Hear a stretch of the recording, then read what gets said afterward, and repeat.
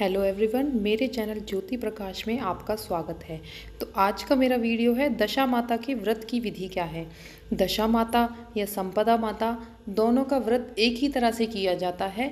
दोनों के व्रत में डोरा लिया जाता है, परंतु कुछ स्थानों पर इन्हें संपदा माता या सांपदा माता बोला जाता है, कुछ स्थानों पर इन्हें दशा माता बोला जाता है। तो सबसे पहले हम बात कर लेते हैं, संपदा माता का डोरा कैसे लिया जाता है या सांपदा माता का डोरा कैसे लिया जाता है? संपदा माता या सांपदा माता का डोरा जिस दिन होली का दहन होता है, उससे अगले दिन लिया जाता है, यानी कि दुलहनी वाले दिन आप उसे कभी भी ले सकते हैं।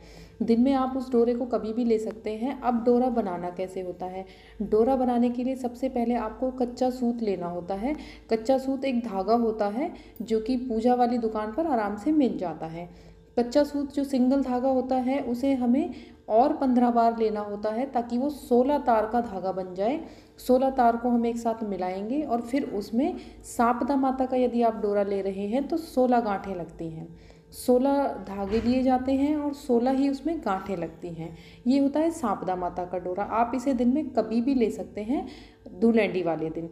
इसको लेने की विधि है कि आपको पहले एक कलश लेना होता है। कलश के साथ आपको जो नई नई फलियाँ पककर आती हैं, जौ की। जौ की हमें फलियाँ लेनी होती हैं। यदि अवेलेबल हो तो अदरवाइज़ आप जो मार्केट से जौ मिलते हैं, उनके दाने भी ले सकते हैं। फलियाँ मिलती हैं तो और अच्छा होता है। तो हम सोलह दाने जौ के हाथ में लेकर सांपदा माता की कहानी सुनते हैं। उससे पहले हमें डोरा बनाना होता है। मैंने डोरा बताया, सोलह धागे का होता है और उसमें सोलह गांठ लगा के उस धागे को हमें हल्दी से रंगना होता है।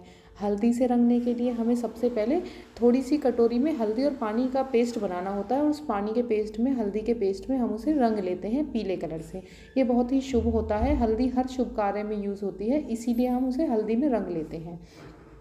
उसके पश्चात हम एक पानी का कलश लेते हैं और स्वास्तिक बनाते हैं। आप स्वास्तिक ज़मीन पर भी बना सकते हैं या फिर अगर आप पूजा के लिए थाल लेकर बैठे हैं, थाल में भी स्वास्तिक बना सकते हैं। स्वास्तिक पर आप रोली से और चावल से टीका करेंगे, उसी तरह से आपने जो ये डोरा बनाया है, उस पर टीका करेंगे, उसकी पूजा करेंगे और फिर आप सांपदा माता की कहानी सुनेंगे। कहानी का वीडियो मैं अभी नहीं बना रही हूँ, क्योंकि कहानी बनाऊँगी, सुनाऊँगी तो काफ़ी लंबा हो जाएगा।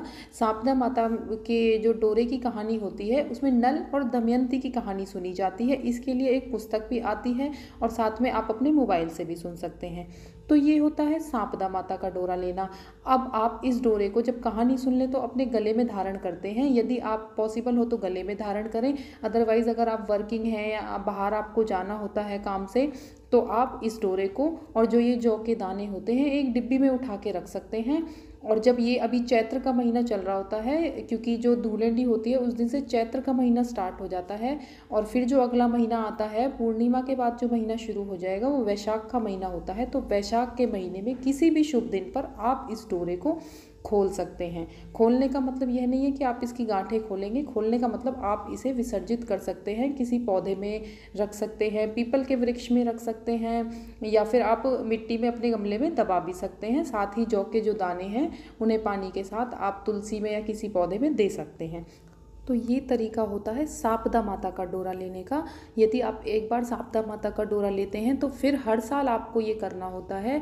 इसका उद्यापन नहीं होता है। एक बार जब इसे शुरू कर दिया जाता है तो आपको ये हर साल करना होता है। अभी मैंने आपको सापदा माता का डोरा लेने की विधि बताई है। कुछ इलाकों में सांपदा माता का डोरा लिया जाता है और कुछ हिस्सों में देश के दशा माता का डोरा लिया जाता है। अब मैं आपको दशा माता के पूजन की विधि बताती हूँ। दशा माता का पूजन दो तरीके से होता है। एक तो होली के बाद यानी कि दुलैंडी पर जिस तरह से संपदा माता का डोरा लिया जाता है, उसी तरह से दशा माता का भी डोरा लिया जाता है। और ये दस दिन तक हम पूजा करते हैं, उसी तरह से हमें डोरा बनाना होता है और हमें दस दिन तक लगातार पूजा करनी होती है और दसवीं के दिन जिस दिन दसवां दिन होता है होली से, होली के बाद, यानी दुलैंडी से पहला दिन काउंट करते हैं और दशवीं तिथि को जब दशा माता का व्रत आता है, उस दिन इस धागे को पूजकर अपने गले में धारण किया जाता है। यदि धारण किया जाए तो अदरवाइज़ आप उसी तरह से इसे डिब्बी में रख सकते हैं, परंतु इसे एक महीने बाद जिस तरह से सांपदा माता के डोरे को आप खोल सकते हैं, इसे एक महीने बाद नहीं खोला जाता है। ये पूरे साल के लिए होता है और अगले साल फिर से दशा माता का जब व्रत आता है तो हम इसे विसर्जित करते हैं उसी तरह से। जैसे मैंने अभी बताया और फिर नया डोरा लेते हैं। अब इसकी विधि क्या है डोरा लेने की? दशा माता का डोरा दो प्रकार से लिया जाता है। एक तो आप दस दिन तक पूजा करते हैं तो आपको दूलैंडी से ये शुरू करना होता है। कई महिलाएँ दसवें दिन व्रत रखती हैं और फिर उसका धागा लेती हैं। दोनों ही विधि मैं आपको बताती हूँ। तो सबसे पहले जो महिलाएँ दूल्हंडी से इसे शुरू करती हैं, उनके लिए बताती हूँ। दीवार पर सबसे पहले स्वास्तिक बनाया जाता है सिंदूर से। उसके बाद सिंदूर से ही दस बिंदियाँ रखी जाती हैं। दशा माता के व्रत में दस अंक का विशेष महत्व होता है। जब आप दस बिंदियाँ सिंदूर की रख लेंगे, उसी के ठीक नीचे मेहंदी से दस बिंदियाँ रखी जाती हैं। इन्हीं को माता का स्वरूप समझकर पूजा की जाती है। उसके बाद आपको एक जल का लोटा लेना होता है और साथ में ही आपको डोरा बनाना होता है। जिस तरह से संपदा माता का डोरा सोलह धागे का होता है और सोलह गांठों का होता है, उसी तरह से दशा माता का धागा दस गांठों का होता है और दस धागे का बनाया जाता है। तो उसे बनाकर उसी तरह से आपको हल्दी में भिगोकर रंगना है उसे और फिर धागे की और सबसे पहले स्वास्तिक की पूजा की जाती है क्योंकि जो स्वास्तिक होता है वो गणेश जी का स्वरूप होता है। हम कोई भी पूजा गणेश जी से ही शुरू करते हैं।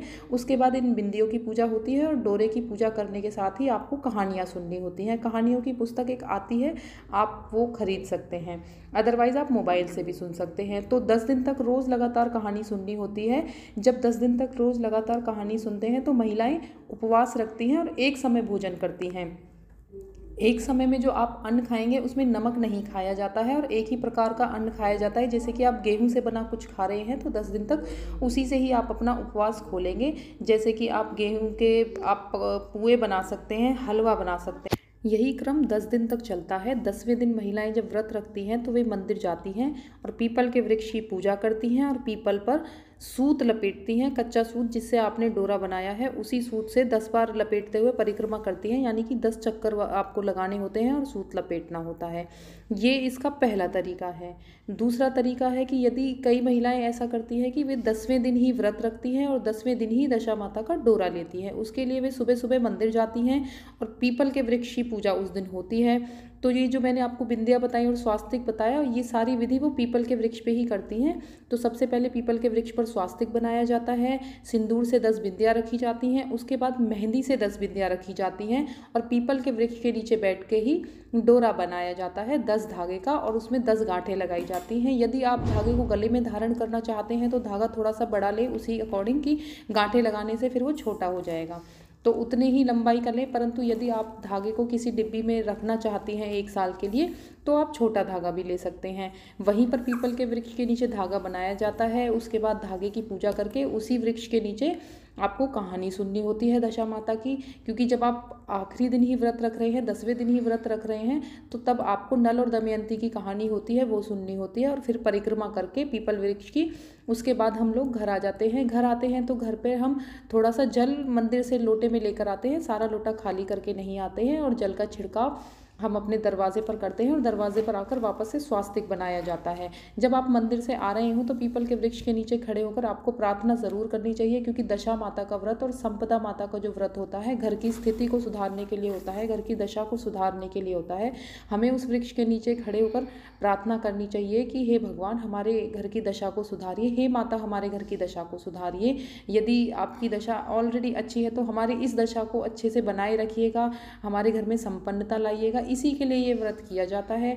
घर पर आएँ तो घर के मेन दरवाजे पर स्वास्तिक बनाया जाता है। उसके बाद इस व्रत को शाम को खोला जाता है।